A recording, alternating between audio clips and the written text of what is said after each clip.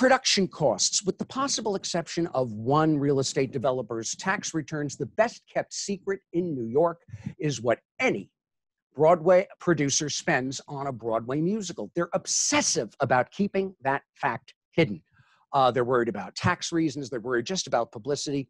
So while these numbers cannot be fully documented, when you've worked in the business and you know others in the business, word gets around. You know what was spent and you can see where the expenses go. So these are reasonable figures for the shows I'm about to mention.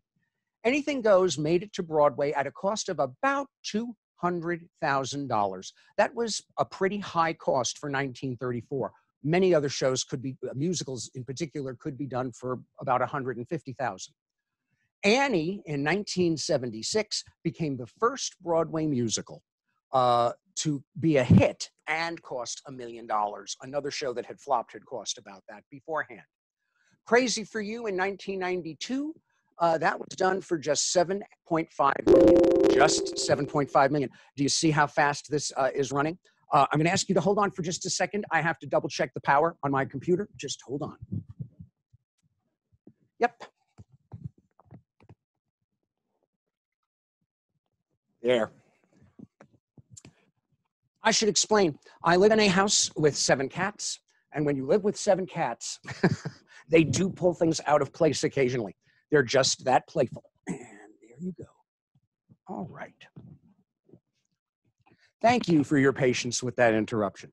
Okay, but do you see how these numbers are zooming from 200,000 to 7.5 million dollars to put on a Broadway show? Wicked by 2003 nearly doubled that number at 14 million. And the record holder after all these years from 2011 is still Spider Man, which cost 70, that is not a misprint, 70 million dollars. At the same inflation rate, a plain loaf of bread, which would have cost, oh, let's say 10 cents in 1934, would cost $35 today. I don't care what gourmet market you go into. If you find one where they charge $35 for a loaf of bread, slap them till they're silly. I will set up the GoFundMe page to cover your defense fund. Who's responsible for this outrageous rise in the cost of Broadway shows? That all depends on who you ask. If you ask the theater owners, they will tell you, well, it's the greedy unions and the greedy producers. If you ask the producers, they'll tell you it's the greedy theater owners and the greedy unions. And if you ask the union leaders, guess who they will blame? The disgusting part is all of them are telling the truth. It's greed. There are only 1,500 to 2,000 seats in a typical Broadway musical theater. And that's your source of income.